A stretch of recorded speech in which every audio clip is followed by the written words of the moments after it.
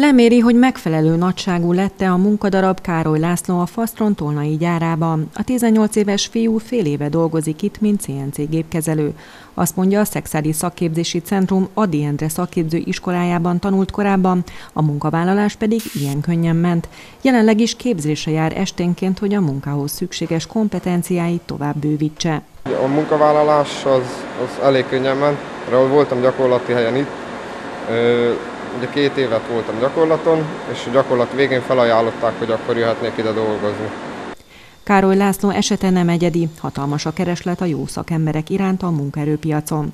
A kormány célja a szakképzési rendszer átalakításával éppen az, hogy még többen jussanak piacképes tudáshoz, mondta Magyar Zita, a Nemzeti Szakképzési és Felnőttképzési Hivatal szakmai elnök helyettese egy szexádi konferencián. Azt szeretnénk elérni a szakképzési rendszer átalakításával, hogy valóban olyan szakemberek kerüljenek ki, minél többen, minél inkább találják meg a helyüket, és hogy valóban vonzó legyen mind a diákok számára, mind pedig azoknak a szülőknek, akik szeretnék a tanulókat jó helyen tudni, a gyereküket jó helyen tudni.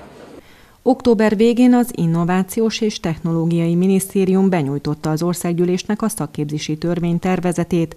Ha ezt megszavazzák, 2020. szeptemberétől a szakképzés átalakul. Az egyik fő változás, hogy a tanulható szakmák száma jelentősen csökken.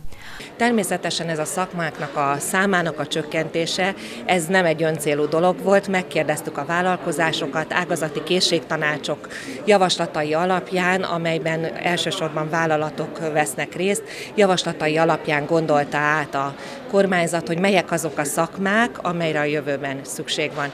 De ezt nem úgy kell elképzelni, hogy akkor nem lehet majd tanulni mindenfélét. A lényege az a dolognak, hogy minél szélesebb alapokat adjon a tanulók számára, bármelyik szakmába is kívánnak majd elkezdeni a képzést a szakgimnáziumok új neve technikum, a szakközépiskoláké pedig szakképző iskola. Mindkét iskolatípusban a képzés ágazati alapoktatással indul. A technikumokban a képzés 5 éves lesz, amelynek a végén a diákok érettségit és technikusi szintű szakképesítést kapnak majd. A szakképző iskolákban az oktatás három évig tart majd.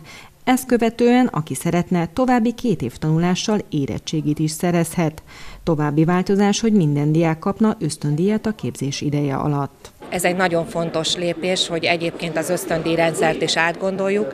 Átgondolta a kormányzat, és egy olyan javaslatot tett le a minisztérium a kormányzat elé, amiben azt javasolja, hogy azok a tanulók, akik a szakképzésbe lépnek, valamennyien kapnak ösztöndíjat, hiszen ők minél hamarabb kikerülnek majd a munkaerőpiacra, tehát fontos, hogy valóban őket ösztönözzük. Azt reméljük, hogy nem csak az ösztöndíj, aminek a nevébe is benne van ugye az ösztönzés és a motiválás, hanem az a újfajta rendszer is ösztönözni fogja a tanulókat és a szülőket arra, hogy minket válasszanak.